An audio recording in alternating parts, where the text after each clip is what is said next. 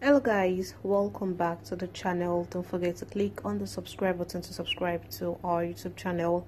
And also don't forget to turn on your notification buttons to get notified as soon as we drop exciting videos well guys nollywood actress kemi afolabi is running courses on those using a picture to create fake content on social media platforms.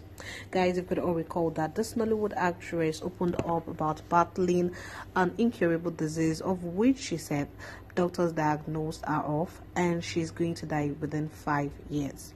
When she revealed this on social media there were a lot of people who felt sad for her and also there are people who assisted her in prayers as a result of this more of our colleagues rally around to open a GoFundMe account for this Nollywood actress so as to sponsor a medical treatment. And right now, the Nollywood actress is currently in the United States receiving a treatment about the sickness she has been diagnosed of. Well, guys, all this became successful as soon as our friends were able to gather around and raise funds on our.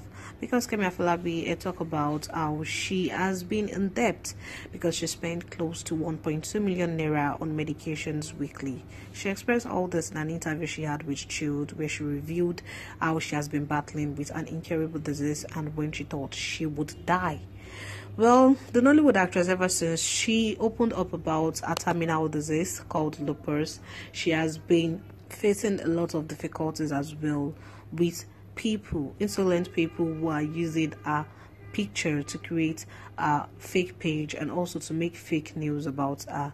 There have been countless times this Nollywood actress will come to our social media page to disclaim fake news about her buying a car, about her visiting a church for healing, about her telling our fans that one of our colleagues gave birth, which is untrue.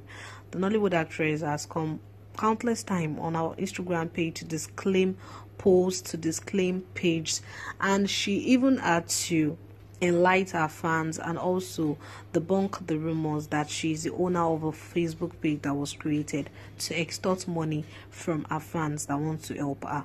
She to come to her social media page then to debunk the claims that she's the owner of the account. She said she's not the owner. She even had to warn her fans to be careful of people like this so they won't extort money from them, dupe them. should be careful of fraudsters. So right now taking to our Instagram page to share pictures of herself going to Miami, beaming with smiles alongside her friends. She actually expressed displeasure at how people use a picture to create fake news. She had prayed that those involved in such acts will experience unending pain and sorrow.